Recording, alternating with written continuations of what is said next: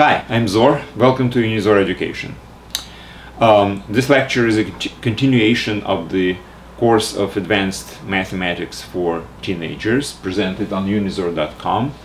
I recommend you to um, listen to this lecture from this website because um, the website contains notes uh, for the lecture which is basically a written um, presentation of exactly the same material, maybe even sometimes slightly different.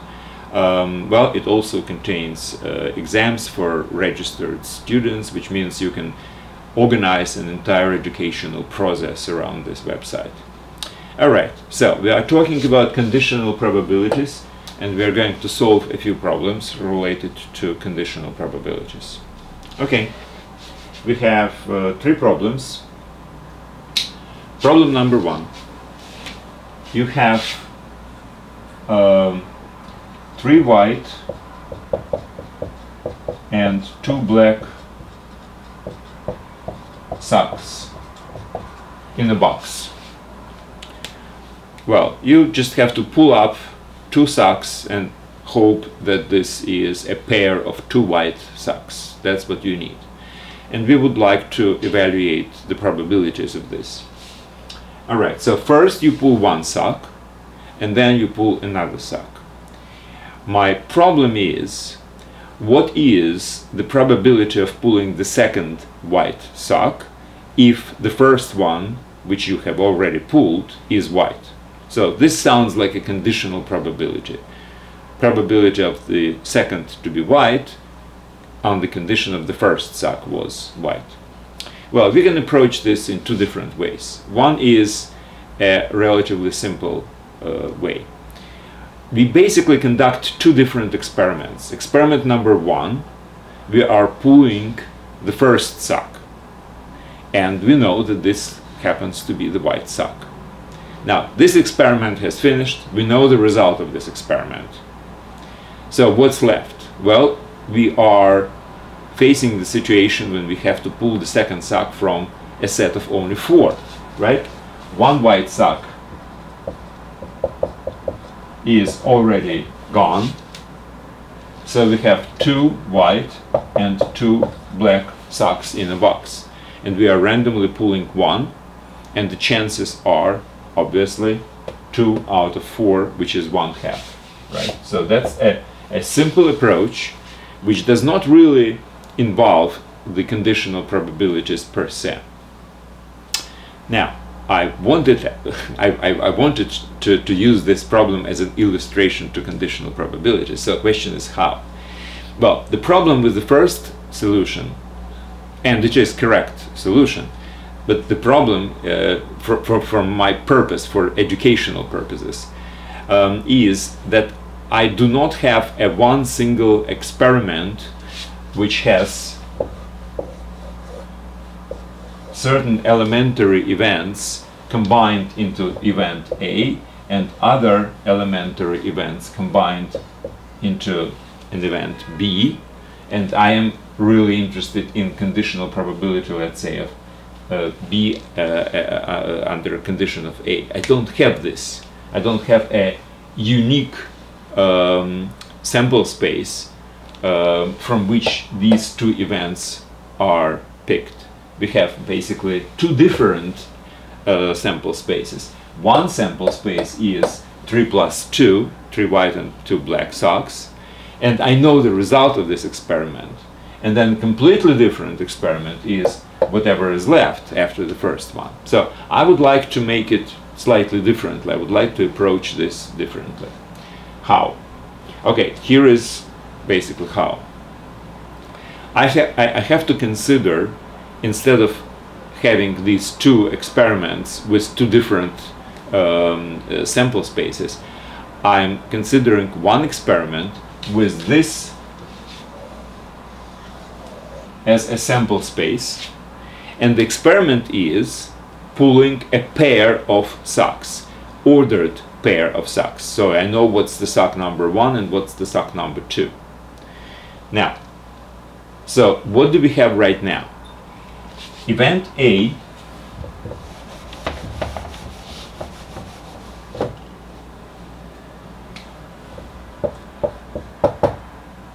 uh, the first sub is white. Event B, the second sock.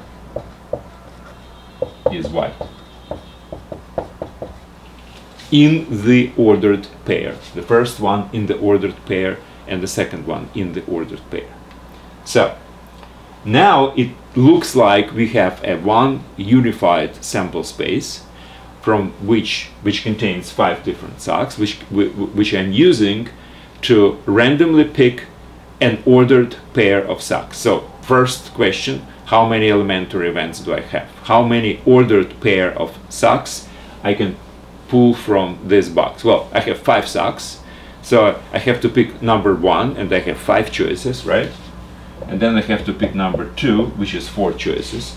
Altogether, I have 20 different elementary events. That's basically how the partial permutation actually uh, from 5 by 2 is uh, derived, the formula. So I have 20 different ordered pairs. 1, 2, 1, 3, 1, uh, 4, 1, 5, then 2, 1, 2, 3, 2, 4, etc. So this is my sample space, 20 different ordered pairs. Now, from all these ordered pairs of socks, I have certain number where the first sock is white. How many of them are? Well, I have three different white socks, so I have three different candidates for number one.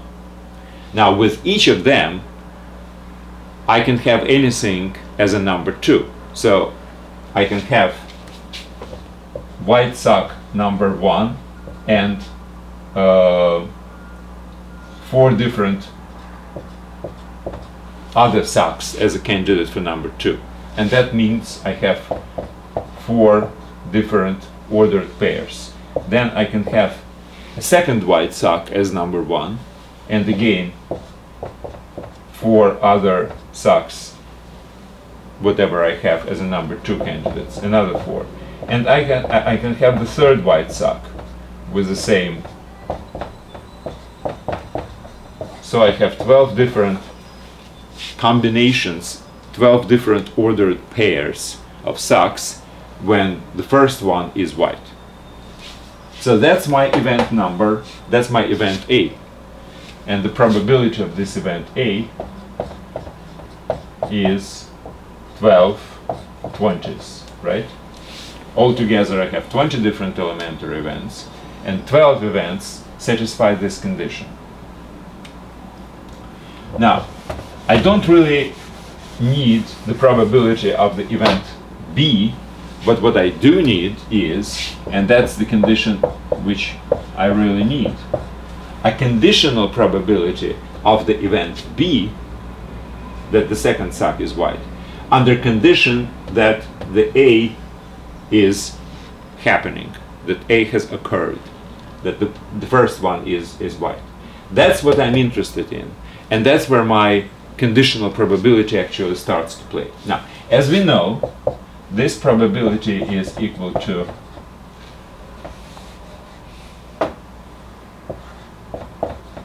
probability of the simultaneous occurrence of both divided by the probability of the condition. Remember why? Well, again, if this is my A, this is my B.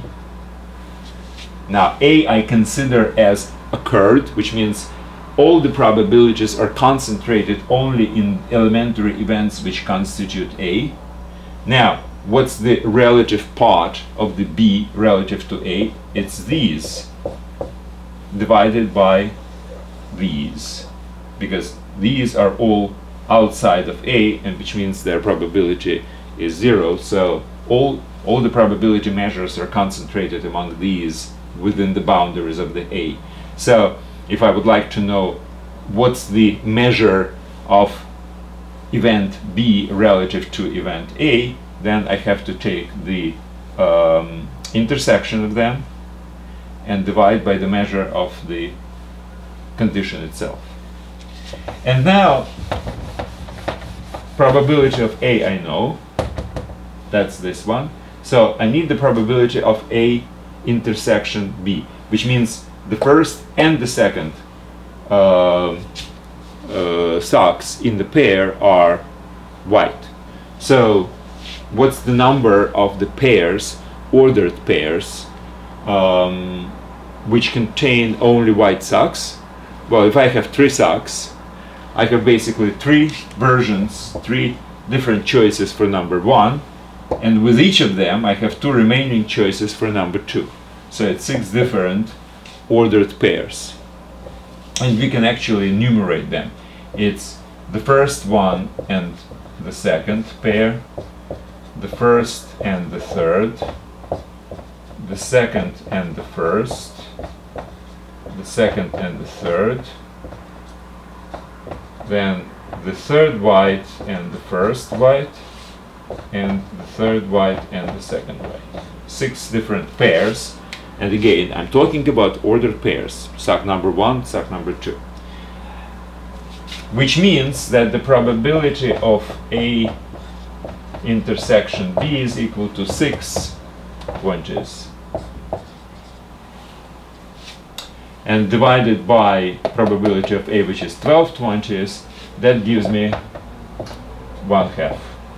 6 twinges divided by 12 twinges, that's 1 half. And obviously we have exactly the same solution as um, in, in, the first uh, uh, the first solution which I have offered without the conditional probabilities. Um, so uh, again, this is more of an illustration of how conditional probabilities can play um, in this case. And yes, this problem can be solved without, but that's not the point. The point is I would like to actually illustrate the usage of the conditional probabilities, which means I have to organize my events, my sample space and events inside so they all belong to the same sample space, the same experiment. That's why I switched from two individual experiments as in the first solution without the conditional probabilities to the second solution where I have an experiment which results in an ordered pair of socks picked from the five. Okay, that's it. That's my problem number one. Problem number two.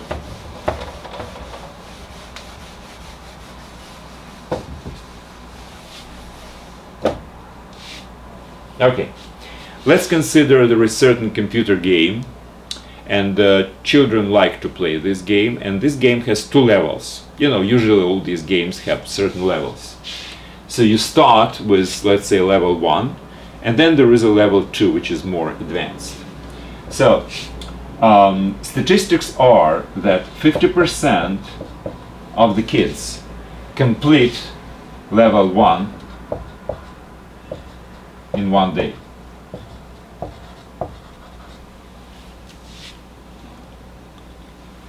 However, only 10% complete levels 1 and 2 in one day. Well, obviously, it's more difficult, right, to complete two levels in one day. So we have 50% of the children completing one level and 10% of the children completing both levels in one day. Question is,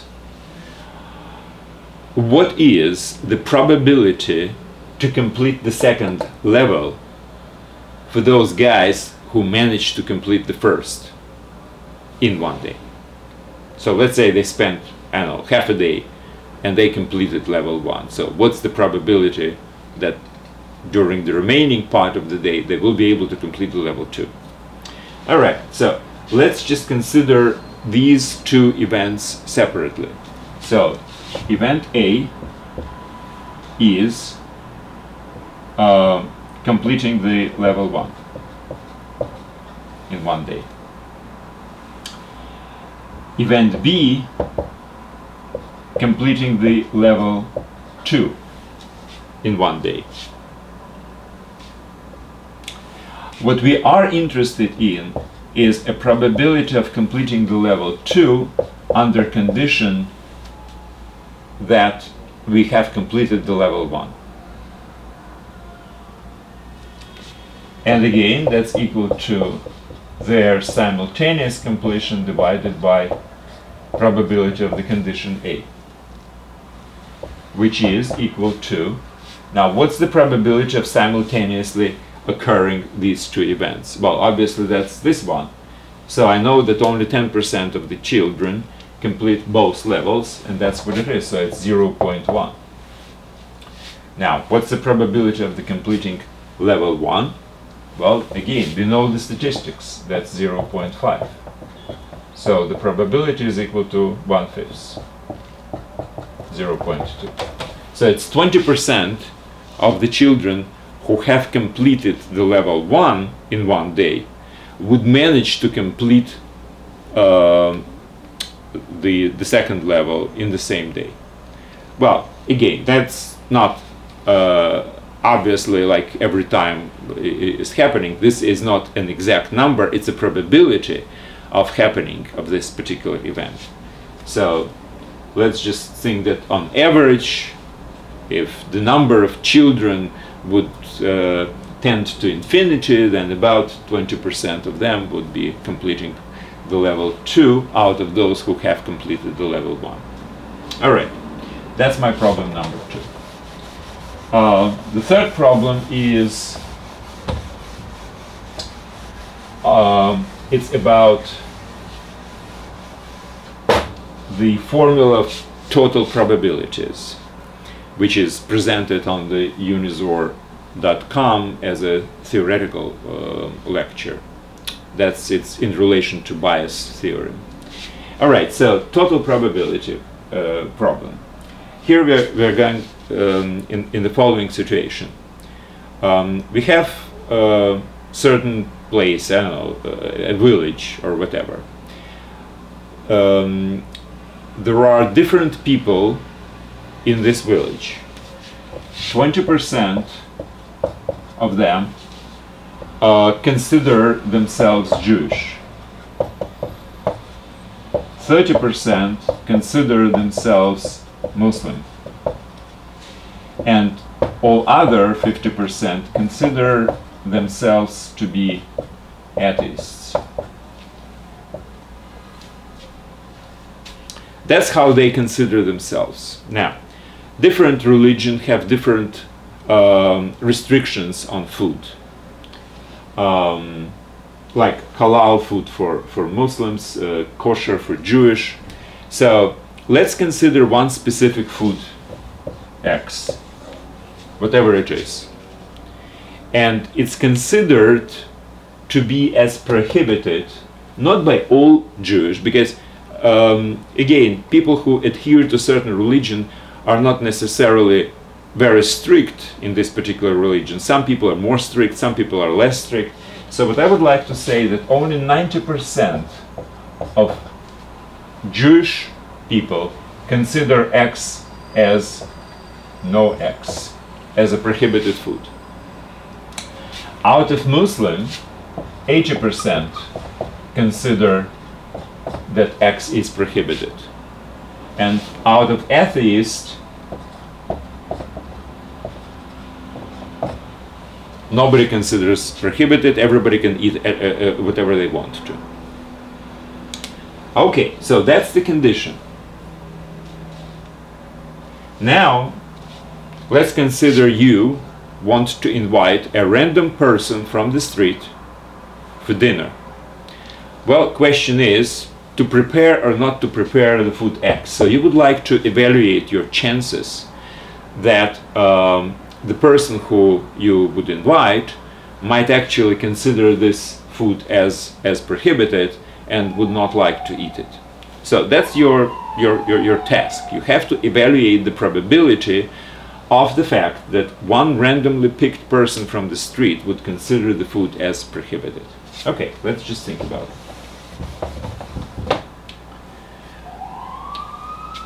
Um, now, you pick the person from the street. So event J is that he is Jewish. Event M is he is Muslim. And event A means he is an atheist. Now, these events have their own probabilities, right? the probability of event J is equal to 0.2, probability of event M is 0.3, and probability of event A is 0.5. That's given, right? Now, what else is given? Let's consider event B, no food X. So the person considers uh, food X to be prohibited. That's event F. What do I know about F? Well, I don't know the probability of F. That's exactly what I would like to find out. That the randomly picked person considers the food prohibited and would not eat it. But I don't know anything about, it, uh, about this. What do I know? Well, I know these. What does it mean? It means that probability that the food is prohibited if the person is Jewish is equal to 0.9. Probability of food F to be prohibited if the person is Muslim is 0.8. And finally, probability of food F to be prohibited if the guy is an atheist is zero. That's what I know. So I know the conditional probabilities. So this is basically what is given. This is just the beginning. It's not, there is nothing which is related to solution. I, I have just written everything which I know in a more or less mathematical way. Okay, now we have to come up with a solution. And here is the solution which I can offer you. Okay.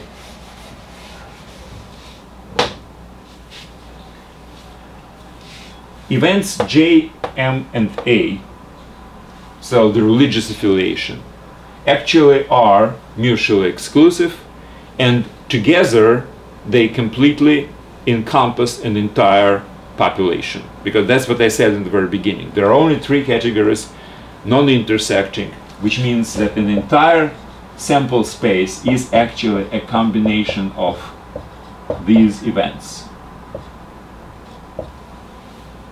And they are mutually exclusive. That's why I was using plus instead of union. Therefore, any event f can be actually represented as a sum of their of its intersection with these three events right now it's obviously y if this is my omega and it's divided into three different parts j m and A. And these are, this is my F. This is all the people who do not uh, eat the food X. Now, obviously, this event F can be a sum of this plus sum of that plus sum of this.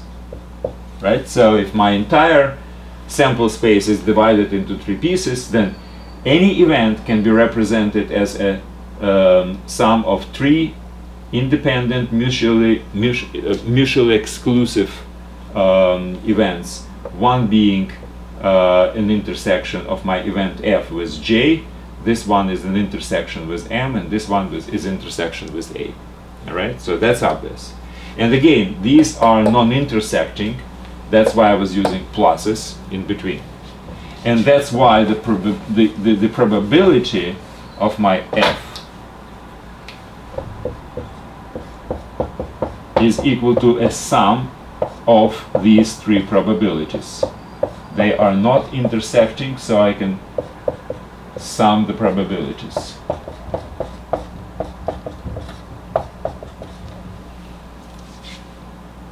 Okay?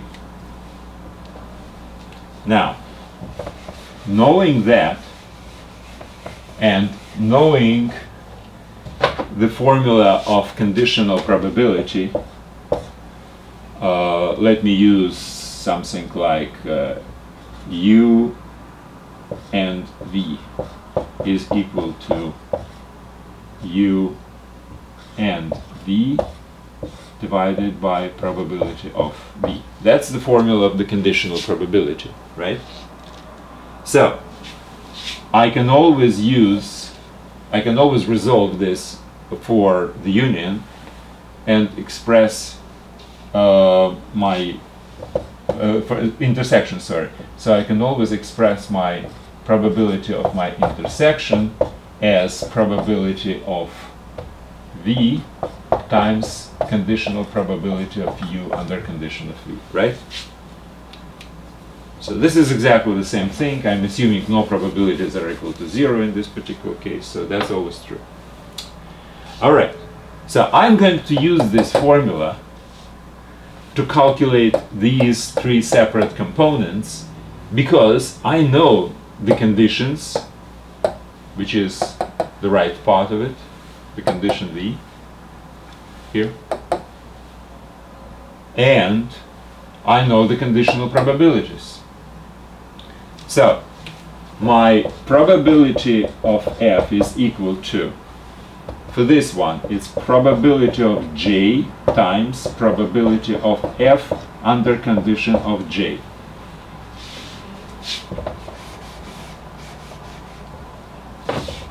plus probability of m and probability uh, of